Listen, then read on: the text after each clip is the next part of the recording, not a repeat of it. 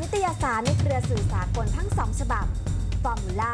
For Wheels ทุกต้นเดือน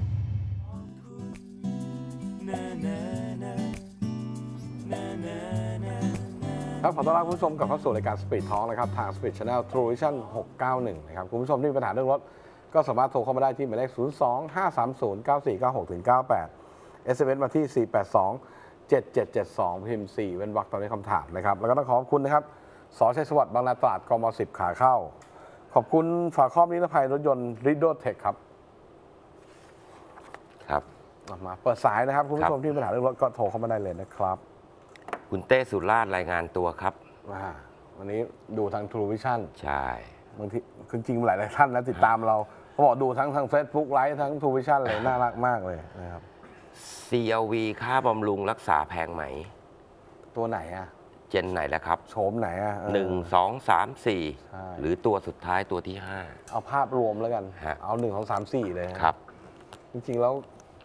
เทียบกับรถญี่ปุ่นทั่วก็อะแล้วก็รถญี่ปุ่นทั่วไปนะ ไม่ได้มีอะไรที่มันน่ากลัวใช่ นะครับ คืออะไรเก่ายังมีเข้ามาอยู่มีเยอะ มีแล้วก็อะไรใหม่เนี่ยเบิกศูนย์บริการได้ เบิกได้ แต่ว่าปัญหาของ Honda ตอนนี้เนี่ยในเรื่องของอะไรใหม่เนี่ยเวลาจะเบิกเนี่ยอย่างน้อยๆสามวัน ครับ มันจะเอาเรื่อง มีปัญหา เรื่องสต็อกอะไรนี่แหละ ก็มาจากใช่เรื่องคำที่เราพูดกันเมื่อกี้ใน Facebook ไลฟ์อะฮะ เรื่องพ่อค้าคนกลางนี่แหละนั่นแหละ สุดท้ายฮอนด้าก็ออกมา ใช่โดยการสั่งห้าม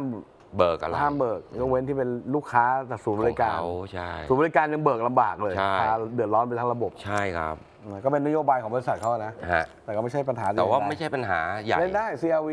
ผมว่าไม่ต้องกลัวเรื่องอันหนึ่งที่ต้องกลัวคือเกียร์ เกียร์เกียร์เกียร์เกียร์ CRV ถ้ามันมีปัญหาพวกเจน2เจนไม่เท่าไหร่ละ ไม่เท่าไหร่แล้วผมทำเจนสี่เมื่ออาทิตย์ที่แล้วก็ยังจบเลย จบจบ ค่าใช้จ่าย ถ้าต้องซ่อม เออถ้าเจนสี่สามหมื่นกว่าบาท อืมถ้าเจนหนึ่งก็ประมาณหมื่นกว่าบาท เจนหนึ่งก็จะมีน็อตล้อสี่ตัว อ่าห้าคิกห้าดาวน์ดุมคิก สี่ดุมคลิกดาวน์สายอืม น็อตล้อห้าตัวคลิกดาวน์ไฟฟ้าครับอย่างเงี้ยมันก็ราคาต่างไปอืมอะเดี๋ยวมาสลับรัรับบรับสายหน่อยคุณเล็กครับสวัสดีครับ อะสวัสดีครับ สวัสดีครับ ผมจะสอบถามเรื่องถ้อยเสียหนะครับคครัรับบอ่าที่เขาเรียกว่าอะไรสโนกเกิลที่ต่อข้างหน้ารถอะครับ อะไรนะ อ่าถ้อยเสียที่ออกหน้ารถอะครับ ออกหน้ารถ หน้าเผาใช่ไหมครับ ที่เขาเรียกนะ snorkel เหรอครับ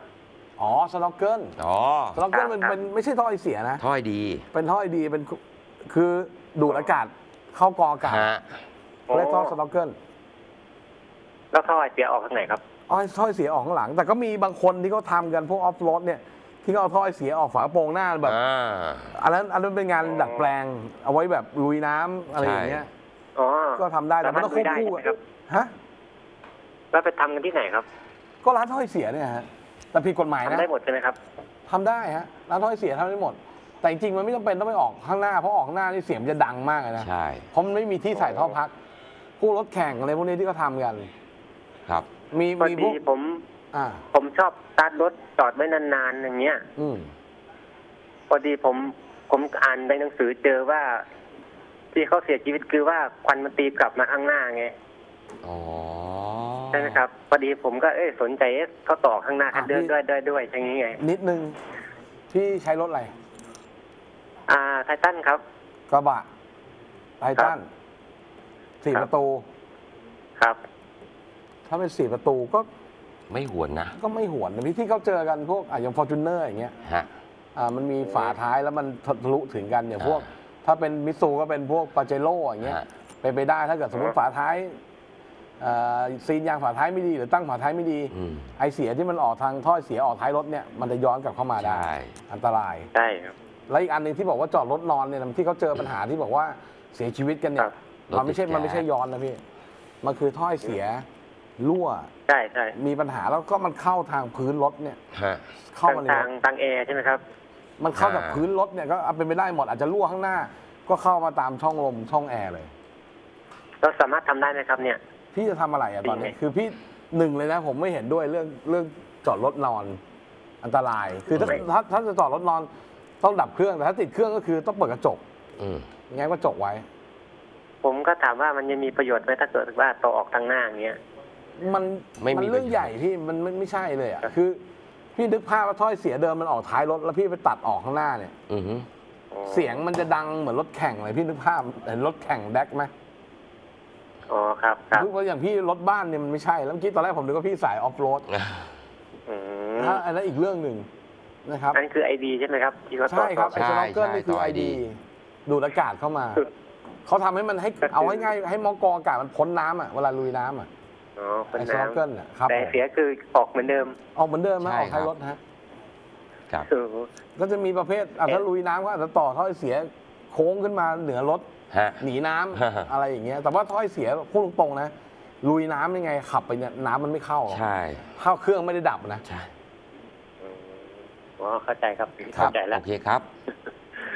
ครับ ขอบคุณมากครับ ครั บสวัสดีครับ สวัสดีครับ ครับ อันนี้น่ากลัวนะเรื่องฮะ การจอดรถนอนหนึ่งเลยมันมีผลเสียด้วยเพราะบอกไททันเนี่ยเครื่องยนต์ดีเซลเนี่ยฮะ EGR valve เนี่ยอืมอย่างแรกที่ต้องเจอครับเลยนะ ใช่ คือเครื่องรอบเดินเบาที่ฮะ ไอเสียแล้วจอดติดนานๆเนี่ยนะจอดหลับกันแล้วก็มีครึ่งชั่วโมงชั่วโมงหนึ่งไม่สมควร ไม่สมควรหนึ่งและสองก็คือเรื่องของ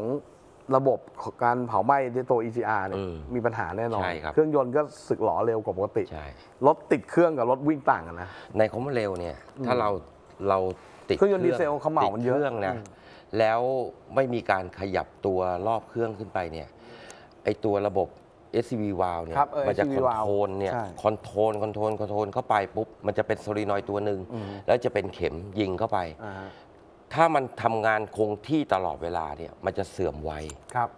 แล้วจะทำให้รอบเครื่องมันมีปัญหา อืม ในส่วนเนี้ยจุดหลักๆเลย ถ้าจะมีการขับแล้วก็เลียรอบเครื่องไปเรื่อยๆเนี่ย อย่างรถสองแถวหรืออะไรพวกเนี้ยรถแม่ค้าที่จอดนานๆเงี้ยแล้วติดเครื่องนานๆมันจะมีผลกับเครื่องยนต์ แล้วก็ตัวถ้อยเสียเองเนี่ย มันจะมีกลิ่นเข้ามาในตัวห้องเครื่อง แล้วก็มาเข้าห้องโดยสารไอ้เรื่องท่อที่มันจะไปย้อนกลับมาหาท้ายรถเนี่ยถ้าเป็นรถกระบะไม่ค่อยมี แต่ก็ไม่สมควรที่จะทครับำนะครับ สลับมาหน้าจอมั้งไหมครับ อ่าฮะ เบน ML 250 ปี 12 กับเลสซั RX 270 ปี 15 อะไรนะครับ รถสวนทั้งคู่ สภาพดีทั้งคู่ เลือกคันไหนดีอ๋อ ราคา อืม ML กับ X เป็นที่ตั้ง RX 270 2015 นี่ ถ้าเป็นผมนะ อืม ผมชอบชอบ L มากกว่า ถ้าเป็นมันอยู่ ตัวนี้นะ มันอยู่ที่ราคาเลยอ่าน นะครับขอขอรู้ราคาก่อน ถึงจะตัดสินใจถูกว่าจะขับอะไร อ่าอืม ถ้าราคามันไม่ต่างกันเยอะ มันก็ได้มัทั้งมันคู่ะมันต้องคืต่างคือถ้ นะ ML เนี่ย ML ก็ได้หรือจะเป็น RX 270 มันได้ทั้งคู่อะฮะรถสองคันเนี้ยแต่อยู่ที่ ถามว่ามาเทียบกันเนี่ยราคามันได้มาเท่าไหร่อะมือสองอ่า ใช่ไหมอันนั้นสำคัญ ครับ ขอราคาเป็นที่ตั้งนิดหนึ่งนะรถศูนย์ทั้งคู่อะดีแล้ว นะครับอันนี้อยู่ที่ชอบเลยกับราคาที่ได้มา CL มีอะไรคุณใดให้ฟันไหม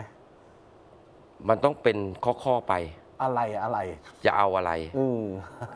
หรือไม่ไงก็เช็คไปที่ CL เลยว่าอะไรเราเราใช้อะไรอะไร เช็คไปที่ CL อะไรครับยนต์ว่าเขามีไหมตัวเนี้ยที่ครับ อ่า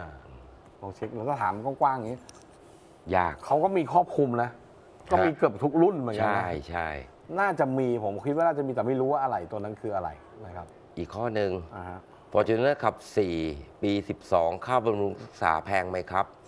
ไม่เห็นมีอะไรเลยรถฟอร์จูเนอร์ปี12 ก็เปลี่ยนถ่ายน้ำมันเครื่องตามปกติน้ำมันเกียร์น้ำมันเพิ่มมาหน่อยก็คือ ระบบขับเคลื่อน4ล้อเนี่ยเกียร์ transfer ต้องต้องถ่ายด้วย ต้องต้องบอกก่อนว่าตัวขับเคลื่อนสี่ล้อเนี่ยบางทีในบ้านเราเนี่ยเราไม่ใช้ทุกวันอืมไม่ใช้เดือนหนึ่งยังไม่เคยใช้เลย เพราะฉะนั้นบางคนไอ้เดือนไม่ว่าบางคนเป็นปีแล้วไม่เคยเข้าเลย เวลาที่เราจะใช้จริงๆน่ะใช้ไม่ได้ไอ้ชุด transfer เนี่ยมันจะมีปัญหาติดส่งขัดส่งผลไปที่เผากลางครับที่จะไปขับเฟืองท้ายลูกหน้าเนี่ยมันจะมีปัญหาอืมถ้าซื้อรถโฟวิวมาเนี่ย อย่างแรกที่ต้องลองเลยนะฮะคือระบบเนี่ยขับสี่แล้วถามคนแล้วถามกลับผมกลับ แล้วลองไงอะก็กดปุ่มอะกดปุ่มเสร็จแล้วรู้ยังไงมันทำงานอะ